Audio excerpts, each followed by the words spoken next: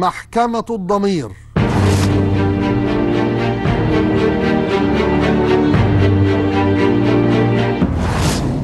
خليني أؤكد أنه في ظروف اقتصادية بالغة الصعوبة وفي لحظات الدولة بتحاول فيها استعادة العافية والقدرة والقوة الاقتصادية وفي أوقات الدولة بتشهر تعلن رغبتها في التنمية وبناء مجتمع أو يعني استعادة مجتمع تنموي وتنمية هذا المجتمع.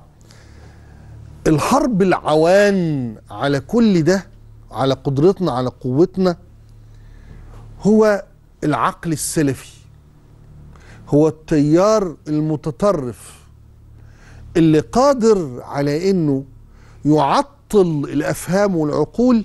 لا ده كمان قادر على إنه يعطل التنمية ويعطل الاقتصاد. ويجعل من الموضوع التنمية والاقتصاد موضوعا للحرام وللحلال. طبعا هو بيطلع الحرام بالطريقة التي يريدها والحلال بالطريقة التي يتمناها وطول الوقت ارتباط واضح بين هذا التيار السلفي اللي بينتشر جدا في خارج حدود المؤسسات المالية. بمعنى إنه علشان يبقى تبص تدور تلاقي التيار الإخواني مثلا كل شركات الصرافة معظمها تحت طائلة يعني عين وإيد واختراق الإخوان. هتلاقي البنوك اللي بتوع نفسها إسلامية مسيطر عليها من كل الأصوات والاتجاهات السلفية شخصيات في مجالس الإدارة وفي مش عارف إيه. ليه؟ في خدمة اقتصاد موازي عايز أقول كمان ومعادي لاقتصادك كبلد وكوطن. بقول ده ليه؟ بقول ده بمناسبة إنه في وسط ازمه الدولار وفي وسط كل ما كان يجري في مصر هذا الشهر الماضي حتى الانفراجه الأخيرة بقرارات السيد طارق عامر والبنك المركزي اللي نتمنى بقى يبقى يتحول ده إلى قرارات بقى حكومية في شؤون أخرى تكمل السياسة وتنجحها وتسرع في إنجاحها.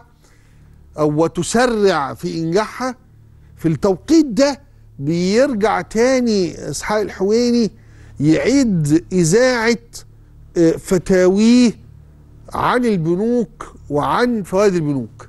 خلينا نسمع ما قاله ونناقش سريعا للغاية إلى أي حد بقول لك إن التيار السلفي معطل معوق عدو للتنمية كمان.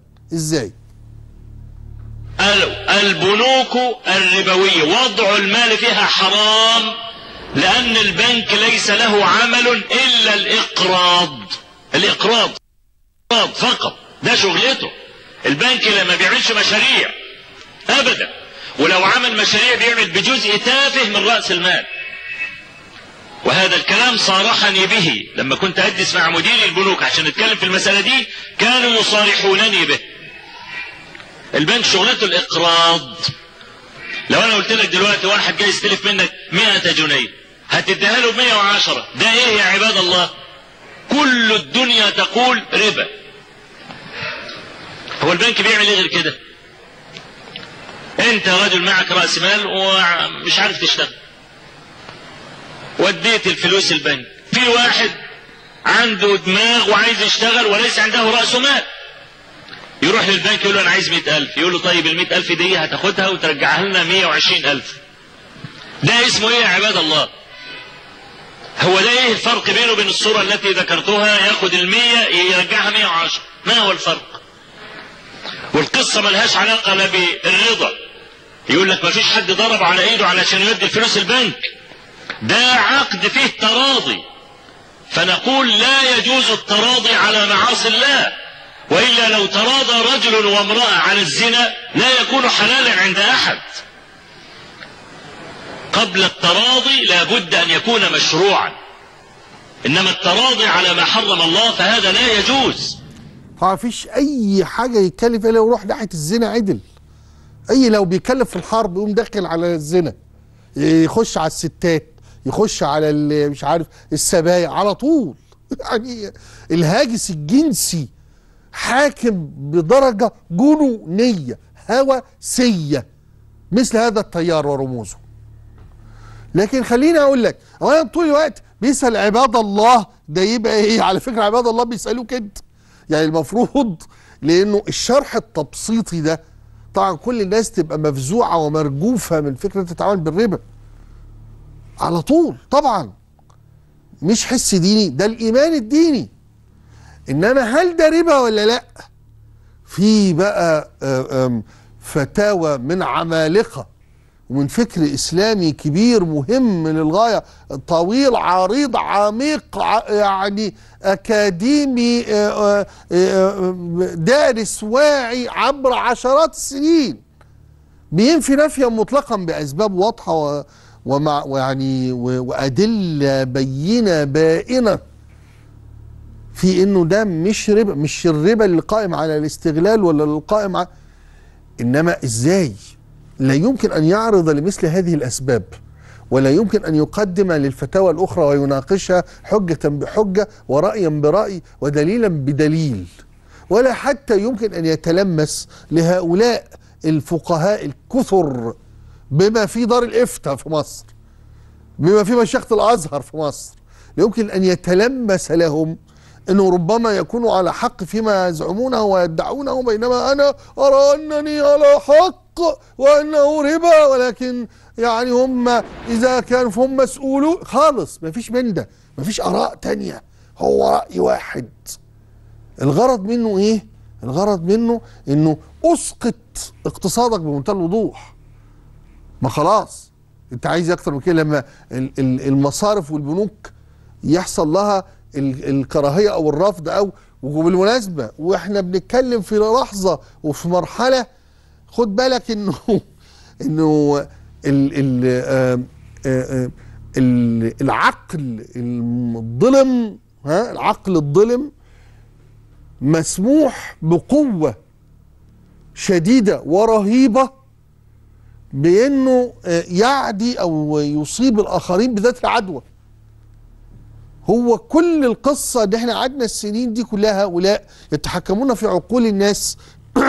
فتلاقي عشرات عشرات آلاف يروحوا بقى لتوظيف الأموال يروحوا للمستريح ولا للتعبان وتلاقي مليارات مليارات بتخرج إلى غير اتجاه المصارف والبنوك. ليه؟ بفعل هؤلاء.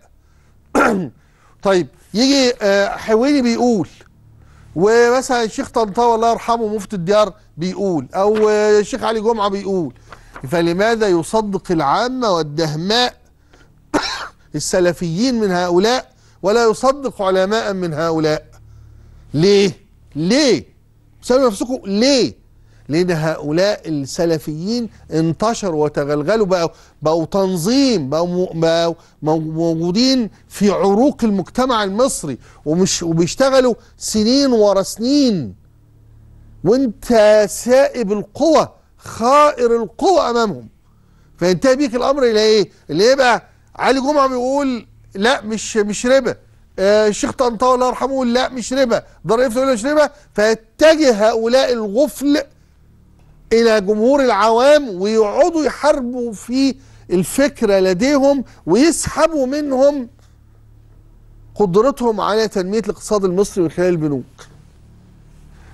ده بيقودني إلى إيه؟ في في الآخر لا في ظاهرة لابد إن إحنا نلتفت ليه؟ إنه مهما كان هنا النقطة اللي لازم نقف عندها لحظة متأملة. فاكرين خطاب الرئيس السادات الله يرحمه سوف يتوقف التاريخ بالفحص والدرس؟ كنا بنحفظه زمان دي. خطاب 16 أكتوبر 1973 وبالمناسبه اللي كاتبه الأستاذ هيكل. طيب التوقف بالفحص والدرس لل- للنقطة البالغة الأهمية دي. إيه بالغة الأهمية؟ إنه مهما فكرت وعملت في مشروعات تنموية أو في تنمية أو في بناء اقتصادي أو في آه، إعمار للأرض. أي حاجة من الأفكار اللي إحنا بتطرحها الدولة ومؤسساتها ورئيسها من لم تكن مستندة إلى عقل مصري بتخاطب العقل المصري المتحرر مش المتسلف.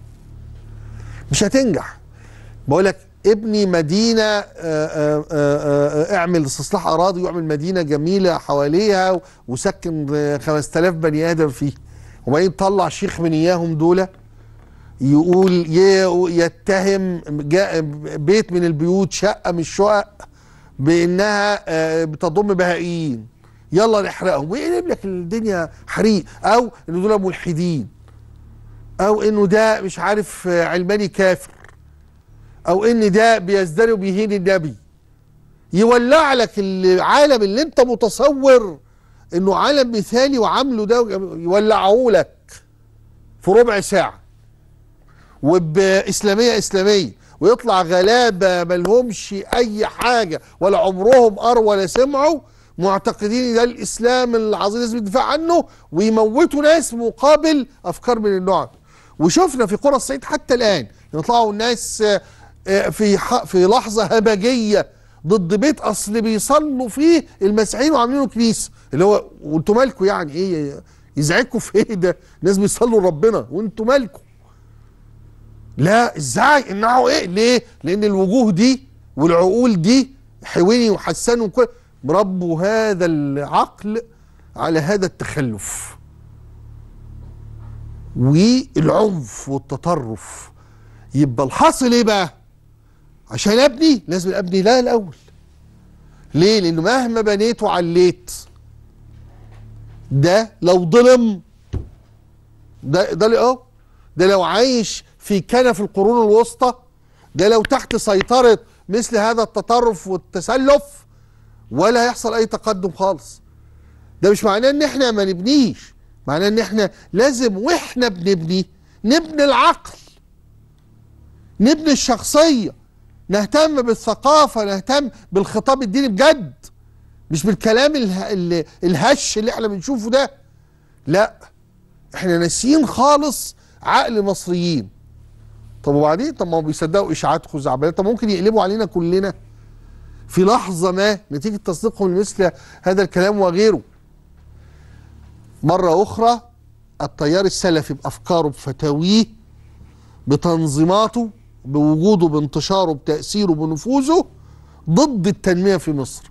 هو وجوده غير وطني أصلا. يعني مع احترامي أنا مش هتورط في اتهام حد بعدم الوطنية. لكن أنا بقول إنه لما يبقى فيه تيار بيقول إن الإسلام هو وطنه وإنه ما فيش حاجة اسمها وطن ده كلام وكتابات ناشرها وكاتبها و... ومختومة من ياسر برهامي.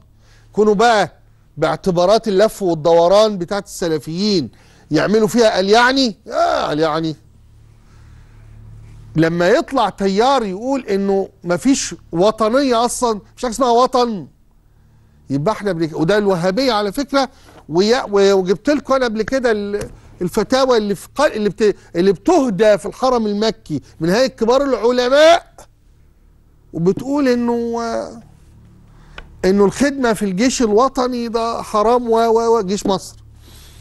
إحنا بنتحدث بمنتهى الوضوح عن لحظة فارقة لبناء هذا الوطن. إذا كنا عايزين نبنيه فلا بد أن نبني العقل المصري أولا وثانيا وثالثا. بعد كده كله والله سهل إلى فصل.